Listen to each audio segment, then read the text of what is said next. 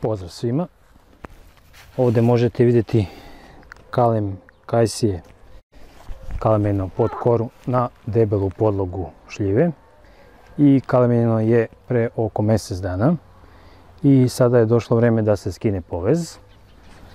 Znači sada ću to i uraditi. Što se tiče prijema, prijem je bio 100%, znači ne samo na ovoj podlozi kajsije, nego i na drugim podlogama kajsije koje sam kalimio. Sada ću uzeti nož da odsečem kanap. I inače, dosta puta sam čitao da ljudi kažu da slab prijem ima kajsija kada se kalemi sa kalem grančicama čuvanim u frižideru, a ja mogu da vam kažem da u mom slučaju uopšte nije tako.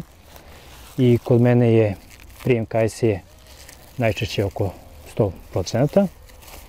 Znači nekad bude malo manji, ali već godinama koristim metod čuvanja kalen grančica u frižideru i nikakvih problema nisam imao sa kajsijom što se tiče prijeme.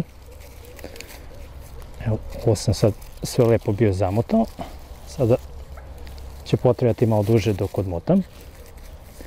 Inače pokazat ću vam i ostale kalemove, ovde što sam kalemio, sve u pitanju kajsija. Sa kalem grančicama isto čuvani u frižideru. Ovde možemo da uklonimo ovo, znači sve ispod kalema.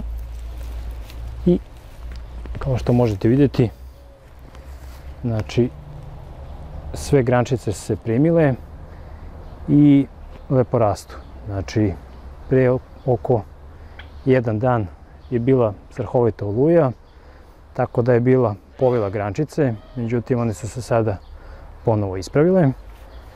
Evo sada ću pokazati i malo bliže to mesto spoja. Znači bilo je kalemeno pod koru i to sam pokazao na koji način sam uradio. A evo sada ovo što sam pričao malo pre o drugim kalemovima kajsije sa kalem grančicama čuvanim u frižideru. Evo vidite, isto na debeloj podlozi. Ovdje imam još jedan kalem na nešto tanjoj podlozi. Zatim ovdje još jedan kalem. Ovdje imam još, još. Znači razne visine kalemenja. A u pitanju je manje više sve kajsija. Evo ovdje imam jednu nektarinu i sve ovo što vidite ovde je kalemeno metodom pod koru. Znači, sada što sledi jeste da uklonim poveze sa svih ovih kalemova i ovo što ste mogli da vidite jeste kalemenje kajsije pod koru sa kalem grančicama čuvanim u frižideru. Znači što se tiče skidanja poveza, Znači, ako niste sigurni, najbolje pogledate i ukoliko kalen grančice nisu prigušene, na primjer ovde, znači vidite grančica već malo stegnuta bila, zagušena, međutim ništa strašno.